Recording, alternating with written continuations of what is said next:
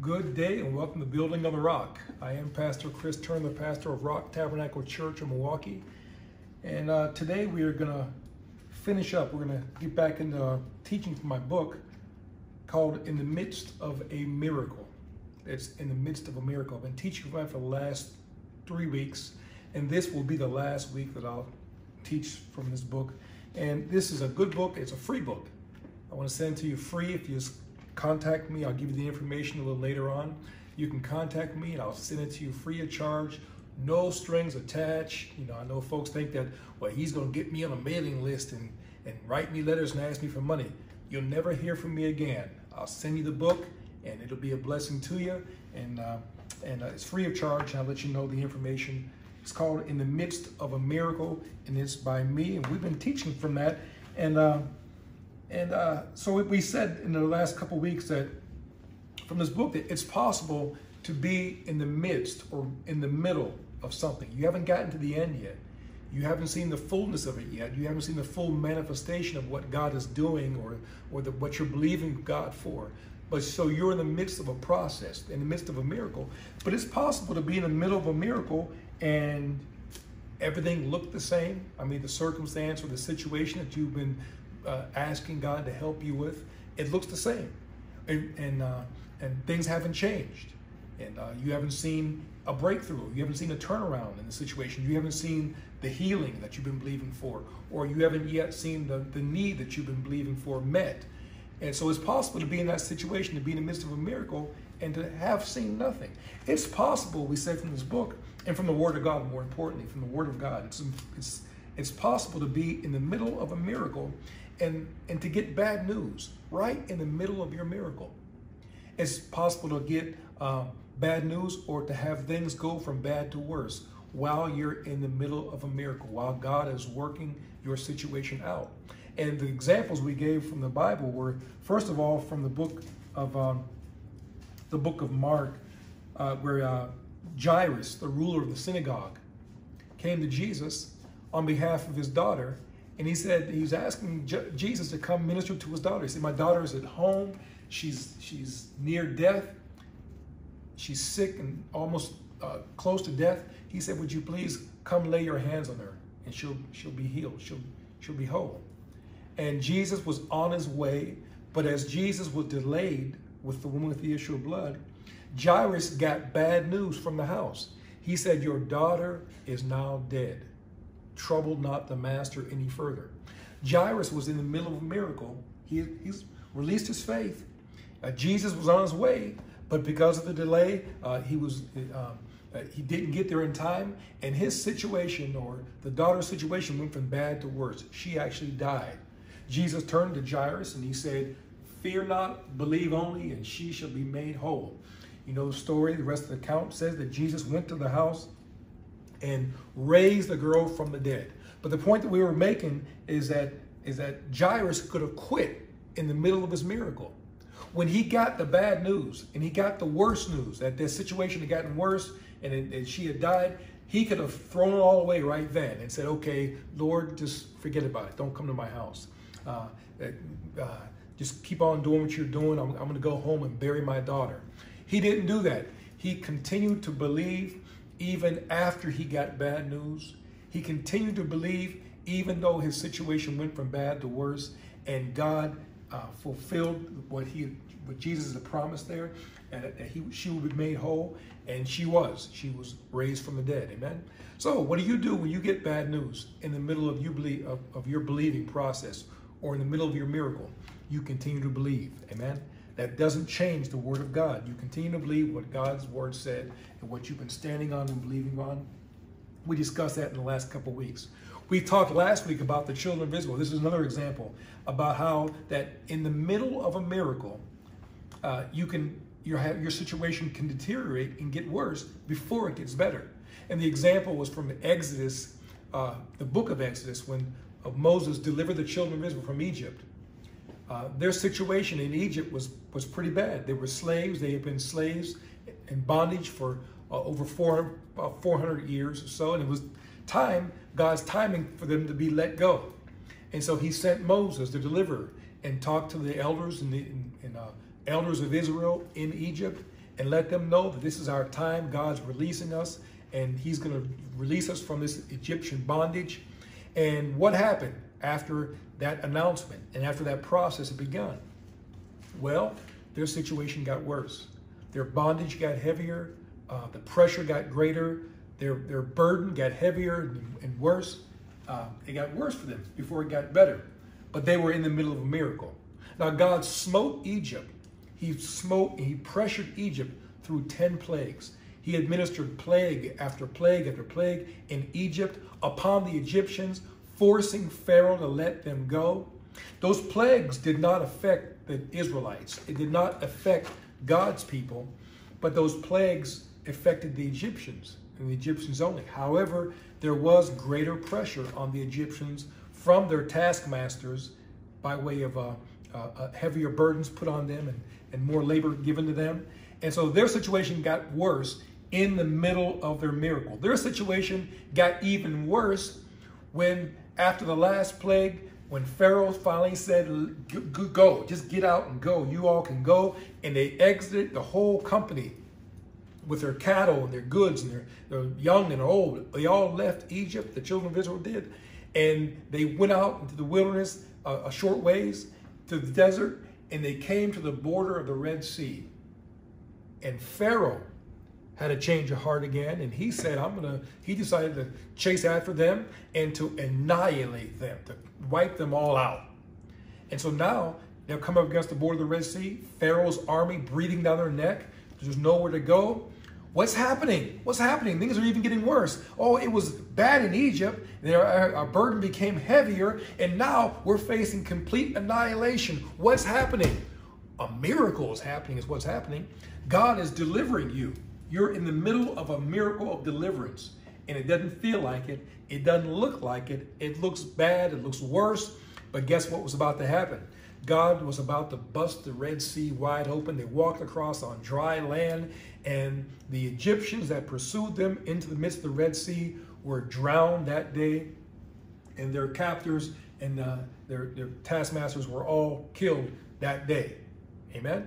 So it looked bad, but God was in control. Their miracle was in the works. And just like you, you might be up against some things and you might be thinking, well, I, I, I, I wasn't this work, I wasn't this bad off when I first began to believe God for my financial miracle or for my physical miracle, or my kids weren't acting this bad when I first began to believe God for them to come into the kingdom. Whatever you're believing God for may not have, have, have uh, ever looked this bad, but you can be up against uh, an impossible situation, and God in a moment can break that situation wide open and the Egyptians, we said that we quoted that scripture, that the Egyptians that you see today, you will see them again no more forever. Amen. The pressure that you're under right now and has gotten worse can be just about ready to break open and, and you go free and, and, and, and bring it to an end. Amen. So you don't give up. You don't cast your faith away. You don't give up because you are in the midst of a miracle. So we've been teaching about that, and, and today, once again, it'll be the last day. And I just want to talk about just some of the chapters you'll find in this book, The Midst of Miracles. We talk about the possibility of things going from bad to worse in the process and what to do. We're talking about what to do. And uh, the first chapter talks about remaining focused on what God promised in His Word. Amen. We, we keep our focus. We don't uh, give up and give in to fear and we, uh, chapter 2 talks about resisting fear. We resist fear. Amen. Chapter 5 talks about encouraging yourself in the Lord. It's chapter 5 in this. You know, it's important to encourage yourself. That's what you do when you're in the middle of a miracle and, and things are hard and you, you're tempted to give up because it looks so bad. It looks like it's more impossible now than ever. You're tempted to give up. At some point, you're going to have to learn the art of encouraging yourself in the Lord. That's chapter 5. Well, I go to church till my pastor can encourage me. Thank God for your pastor. He should encourage you. She or he should encourage you. Thank God for loved ones encouraging you in the Word of God. But at some point, and sometime, you're going to have to know how to encourage yourself in the Lord. That's what David did. When David was in a situation that was bad and he had lost everything in his situation, well, he lost his wives and his kids and all of his stuff, and his uh, uh his enemies had come in and taken all this stuff out of his city. And David's situation got worse because the men that were with him spoke of stoning him. So David's situation went from bad to worse. Where was David? David was in the middle of a miracle. Well, when the men spoke of stoning him, David could have given up. That would have been a good point right then to give up and say, okay, oh well, I might as well go ahead and die. Everything I have is gone, whatever, and God didn't come through for me. No, David didn't take that way out. David encouraged himself in the Lord. And the way he did it is he talked to himself. He began to talk to himself about the things of God, talk to himself about and reminding himself about things that God had done for him in the past, about how God had brought him forth and brought him through uh, uh, tough situations before and given him victories before. He began to encourage himself in the Lord, and and guess what? It wasn't too long after that that he was up, the men were up, and they chased their enemies and they got their stuff back. They were in the middle of a miracle. David was in the middle of a miracle, and he encouraged himself in the Lord, and that's what you need to do. That's in chapter chapter five. Chapter six talks about the words that you speak out of your mouth. Oh, when you're in the middle of a miracle and things are tough, and you're tempted to give up. It seems like God's not answering. God's not working in my situation. God's not going to break through for me and, and do this for me. It's tempted to open your mouth and say those kind of, say negative things and say bad things. And you don't want to do that, child of God. Don't open your mouth and say things like, ah, oh, this is not working. Oh, things are getting worse. Oh, it's about, we're about to go under. Don't open your mouth and say that. Amen? because words are important. The words that come out of your mouth are important.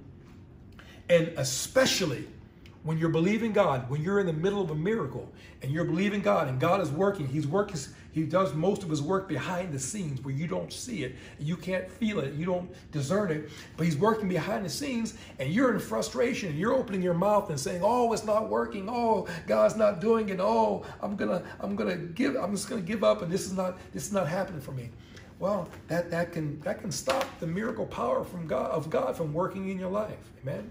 Don't use your words that way. Man, be careful about the words that you speak. And the, the example I gave was the Apostle Paul.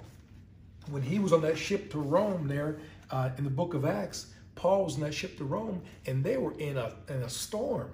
They were in a storm that was about to take that ship under.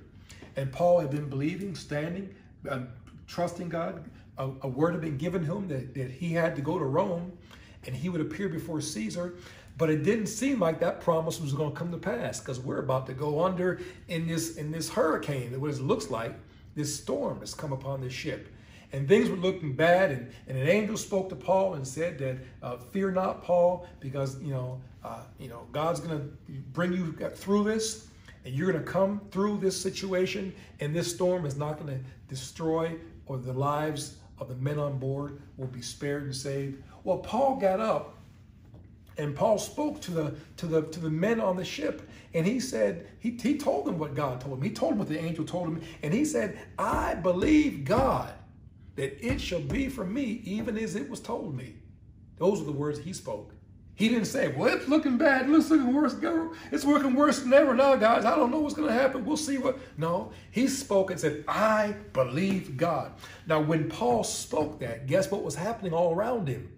The wind was blowing, the rain was falling, the sky was black and dark. That's when in the midst, that's when he stood up and spoke those words of faith. What he spoke in the middle of the storm is what got them through, is what was faith was. You need to speak your faith. Speak positive uh, words of faith in line with the word of God in the middle of the storm. When the sky's black and the winds are raging and the storm is, is uh, blowing, winds are blowing upon Paul stood up and said, But I believe God. Amen. And that's what you need to do.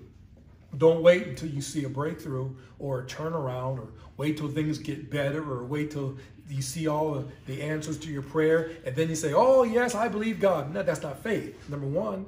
And most likely, you won't see that. Number two, if you're speaking words of doubt and fear in the midst of your storm, most likely you won't see that, that glorious end. But amen. But stand up in the middle of your storm. Be bold, be confident, even though it looks terrible, it looks bad, it looks like we're going under. Stand up and say, I believe what God said to me.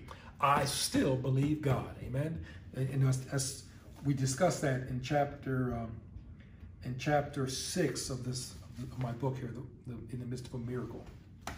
Chapter 7, we talk about uh, focus. Don't let your focus be broken.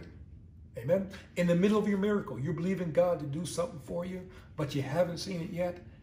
Don't let your focus be broken. You know, the great uh, Dr. Mike Murdock uh, has a saying. He said that, he says that broken focus, failure comes from, all failure comes from broken focus, he says. That's true. All failure and faith failure. We're talking about your faith failing. Your faith will fail if your focus is broken. You need to focus on what God promised and focus on that only, not on what is going on around you, not on what the, the, the, news is saying, what the latest report is saying, what the people say, what your body says, what anyone. You need to focus on what God's word says, and don't let your focus be broken. The example that we give about broken focus is Peter. Remember that, that, that account when Peter, when the, uh, Jesus' disciples were in the boat going to the other side of the lake there, and they were uh, in a storm, and, and, and they were in there, and Jesus wasn't with them. And, and, and Jesus came walking on the water, the Bible says. Jesus came walking on water. Peter saw him and said, Lord, uh, if, if that's you, uh, bid me to come. Bid me come to you on the water. And so Jesus said, Come. And so Peter actually got out of the boat and began to walk on the water to go to Jesus. He got out of the boat and began to walk on the water to go to Jesus. But the Bible says that is that a miracle? Yes. Yes. No one walked on water. No one, we have record of in the Bible. Two people we have record of in the Bible walking on water. It's Jesus and Peter. Never been done before. But so Peter's walking in the miraculous. He's walking in the miracle. But then the Bible says, when he saw the winds and waves boisterous. The winds and waves begin to kick up more. He's getting splashed in the eyes with on, and, and the wind's blowing around. He's then his focus got off of Jesus. His focus got off of what Jesus had said. Jesus had said, Come. And Jesus is standing there a distance away, and he has said, Come on, Peter. And, and so he's, but his focus got off of Jesus, off of what he said, and onto the winds and waves. What began to happen? Peter began to sink. He began to, to go under because his focus had been broken. Amen. Amen. Thank God that he had enough sense to cry out. Jesus reached out to him. You know, that's interesting. Jesus reached out to him. That means Peter must have been close enough for Jesus. It didn't say that Jesus ran over and, and dove in and caught Peter. It said that Jesus just reached out. So apparently, Peter had walked from the boat, walked a distance um, in the miracle, and was about an arm's length away from Jesus when he's, his focus was broken. And when his focus broke, he began to sink. He was this far away from the Master. He was this far away from the completion of his miracle. He was this far away from Jesus, his destination, when his focus was broken and his faith began to fail and he began to sink. Listen to me. Lord has put this in my heart to tell you, you don't know how close you are to your miracle. You could be just this far away from your breakthrough just this far away from your turnaround, this far away from your destination. You could be this far away from everything turning around and from you seeing the manifestation of what God had promised you. You, you are in the midst of that miracle, but don't let your focus be broken. Now, keep your focus on Jesus. Keep your focus on what he's promised you, what he said to you, and don't let the winds and waves of the circumstances and the situation keep break your focus and get your eyes on that. You don't you could be this close to seeing your breakthrough. Amen. Don't give up. Don't let your focus be broken. We talk about the, the dangers of broken focus. That was in chapter uh, chapter seven. chapter 8 is the last chapter in that book there. And also talk about chapter 8. Chapter 8 is, is simply titled just Rejoice. Rejoice. In the midst of your miracle, when, when, when you've not seen the change, you're, you're, you, you've prayed and you've believed God, but you haven't seen the manifestation of what you believed, or when things have gone from bad to worse, which is possible in the middle of a miracle, what do you do? One of the things you need to do is you need to give thanks and praise God and rejoice right there where you are.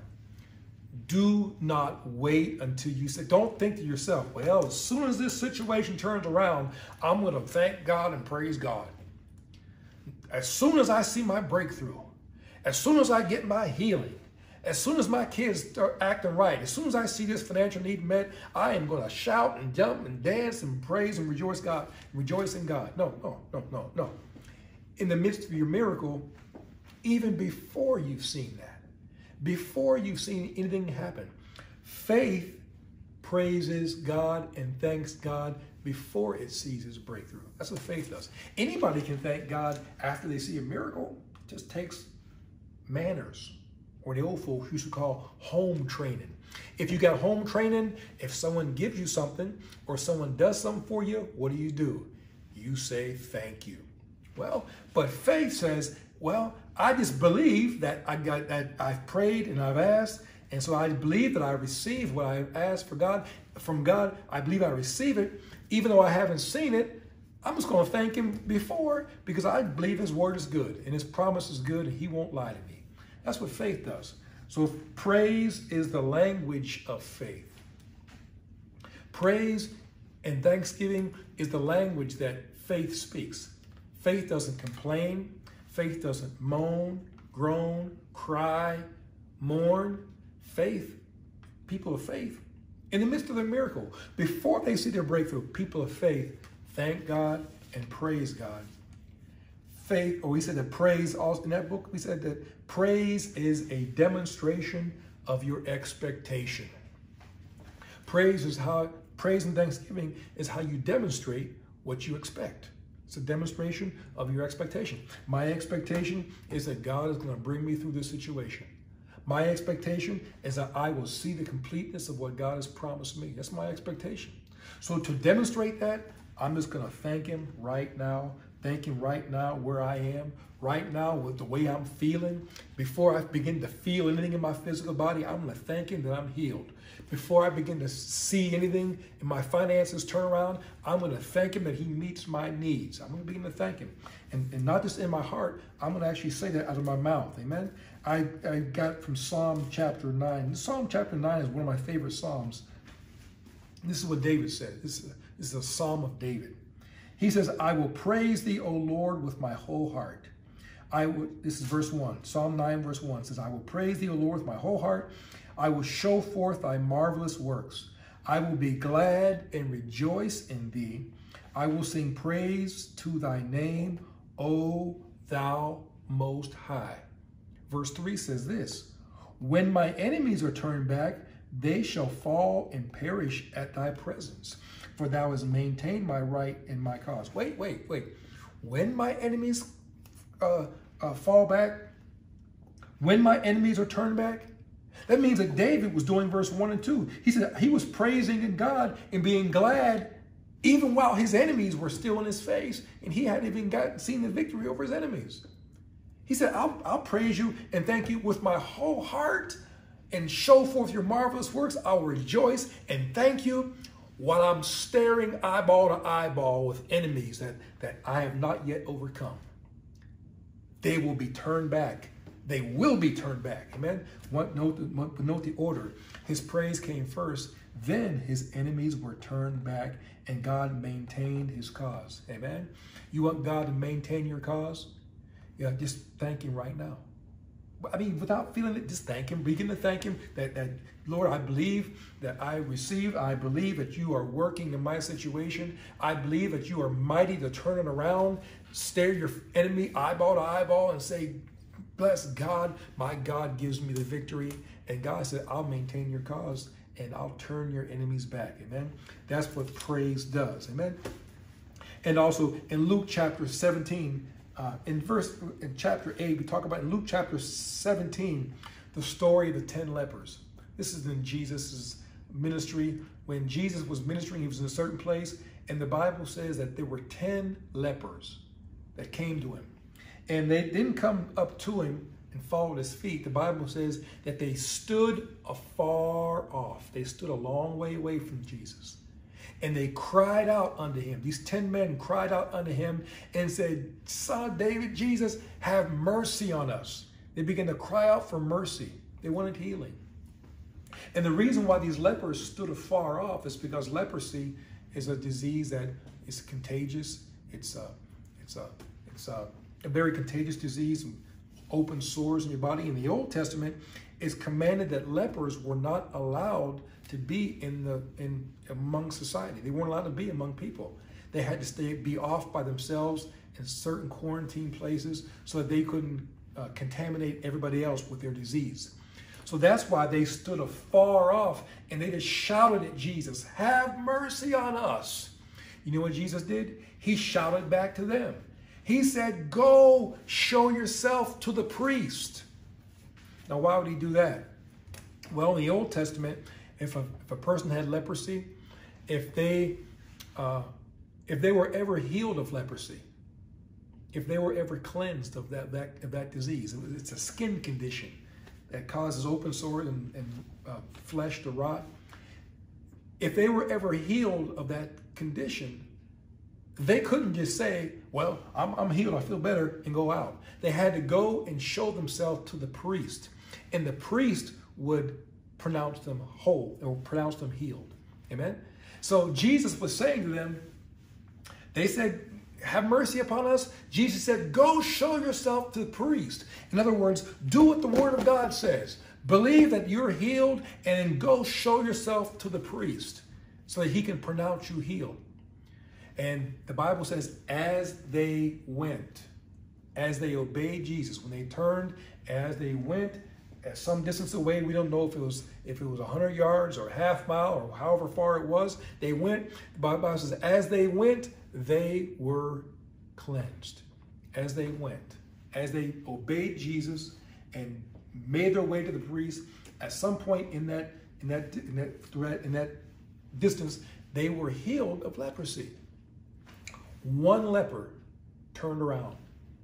Of the ten, the Bible says that one leper turned around. He came back to Jesus, and the Bible says that he did something.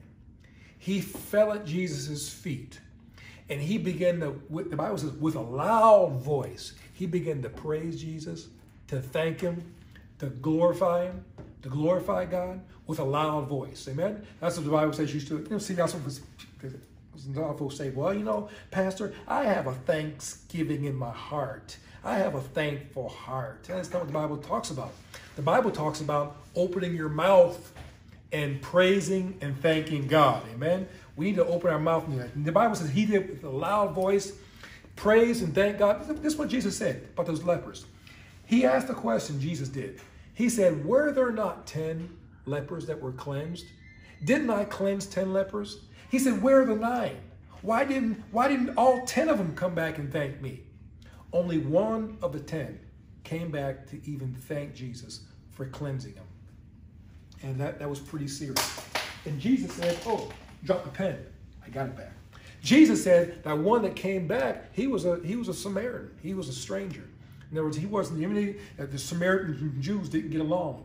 They looked down on the Samaritans. But this man had enough uh, sense to come back and, and to say thank you for what he had gotten. Well, um, uh, the Bible says that Jesus spoke to that one leper, and this is what Jesus said to him. Jesus said, Go your way, he said, go on, he said, go, go on your way. Your faith, you are made whole. Your faith has made you whole. Now, Jesus said himself that 10 lepers were cleansed. 10 were cleansed. One was made whole.